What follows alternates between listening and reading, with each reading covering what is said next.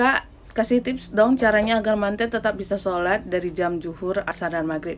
Sebenarnya sudah banyak Kaira jelasin di VT-VT sebelumnya mungkin sudah tenggelam ya, jadi nggak apa-apa Kaira jelasin lagi dan ini durasinya agak lama guys, jangan kalian skip. Jadi cara Kaira menjaga uh, pengantin itu tetap bisa sholat, terutama di Aceh Tami yang dekat Kaira. Um, ini ya bekerja make up. Jadi uh, khususnya di Aceh Tamiang itu acara dari pagi sampai maghrib ataupun ya sampai isya ya para pengantinnya. Cuman setelah Kaira hijrah, Kaira lebih mengutamakan sholat. Jadi Kaira uh, untuk di juhur pasti hapus makeup. Kenapa? Kalau misalnya kita suruh jaga wudhu dari pagi uh, sampai sore jarang ada yang bisa tahan. Apalagi kalau misalnya sesi di paginya itu jam 11 kita ada sesi adat ya. Kalau adat itu kan ada salam-salam saudara sungkeman.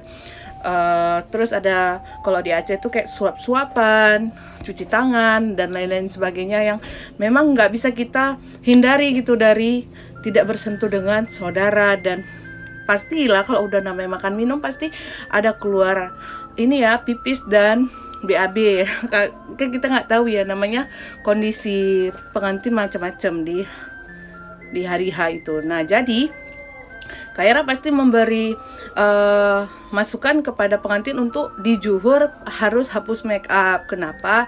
Kalau pun mereka jaga wudhu dari pagi pasti nggak afdol karena takutnya ih tadi udah batal apa belum ya daripada ragu-ragu mending kita hapus aja ya. Kalau memang uh, demikian Uh, misalnya di pengantin ada merencanakan pemakaian pakaian adat yang memang suntingnya agak meriah. Nah, itu Kaira merekomendasikan untuk pakai di awal atau di pagi yaitu di baju pertama lah ya letaknya.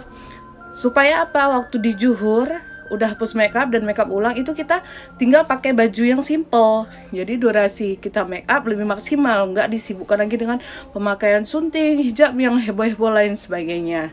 Nah makanya kalau ada pengantin yang memang ingin uh, sholat kayak sarankan jangan diribetkan dengan pakaian adat kalau bisa dua baju aja Kalaupun memang mau tiga, dua baju pertama itu yang aksesorisnya memang agak meriah, kemudian yang baju kedua dan ketiganya itu pilihlah yang simple. Jadi kalau kalian uh, udah juhur kan tinggal apa ya hapus makeup dah. Nah terus di asar kalian jaga wudhu.